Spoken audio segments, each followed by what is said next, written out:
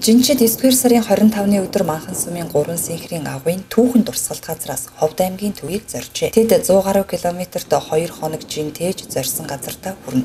Жинчдийн хувьд Эрдэнэ түүхтэй цайны замын өв соёлыг түгээн дэлгэрүүлж сурталчлах үйл ажиллагаанд гар бие оролцож, өвөг дээдсийнхээ өв уламжлалыг мэдэрч туулж байгаадаа баяртай байгаагаа илэрхийлж байсан юм а. Одоо настангуудаас бид нэг дуулж мэдснээр аль одоо өргөлөөлж явж байгаа гэхдээ бидний хойч үедээ өр хөөхтүүд бол бүр мэдхгүй тэрийг одоо танилж мэдлэхин төлөө явж байгаа. Тэмээгээр одоо нүүдэл хийдэг энэ уламжлал маань ер нь ер нь багасч гин үү орхигдож гин үү ер нь яаж вэ? Багасч орхигдож байгаа энэ өвлийн үед л тамиа хэрэглэхээс энэ бараг 100 доллар ихэнх нь машинаар нүүж байгаа.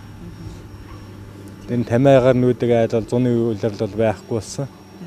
Өвлийн үйлрэлд бол одоо яг нэг өвлжинд машин гарахгүй газар байгаа айлууд бол тамиагаар нүүж нүүдэл суудал хийж байгаа манай залуучууд одоо ер нь бол ингээд тэмээ малаа ингээд сайхан эдлэгэнд зөв эдлэгэнд оруулаад сайхан боловсон эдлээд ингээд онлог ачлах онлог ачлаханд оруулаад ингээд болж өгвөл энэ жин жин дээх гэдэг юмд ингээд бүгдээрэнд ингээд сайхан тэмээ малаа оролцуулаа явуул ер нь ер нь сайхан юм байна шүү ер нь. Энэ удаагийн жин дэхийн үйл ажиллагаанд оролцоод ер нь ямар ач холбогдолтой зүйл олж мэдэв юу сурч мэдсэн бэ?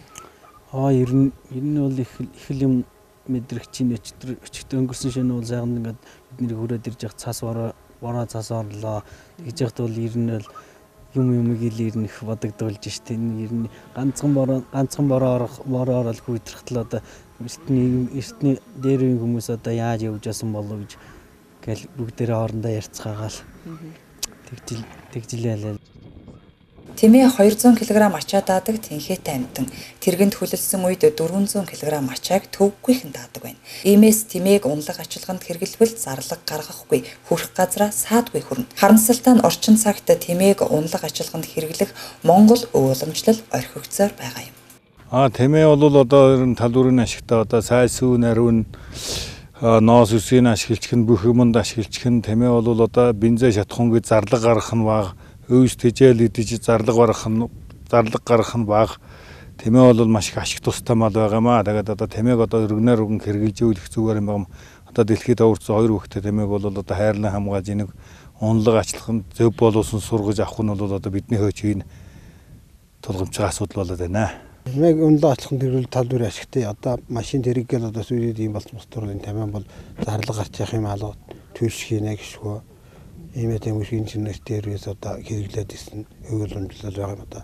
Яг энийг бол мартагдуулахгүй сэргээж сайхан байна энэ талаас талархаж байна. Тэгээд одоо энэ машин тэрэн хөрөхгүй гадар бол тамил 90 өчилж ачаа голыг үрж явж байгаа шүү дээ. Ховд аймаг Эртний цайны зам дамжин өнгөрөх гол цэгийн нэг юм. Цайны зам Монголын нутгаар дамжин өнгөрч байсан газруудыг хоёр үндсэн худалдааны замаар нэрлэдэг байна. Нэгдүгээр зам нь хаалхан хүрээх ягт гэсэн Монголын төв шугамыг дагсан зам байсан бол хоёрдугаар зам нь Хөхөт Улиаста Ховд Цагаануур Вис гэсэн Монголын баруун хязгаарыг дайрсан зам байжээ.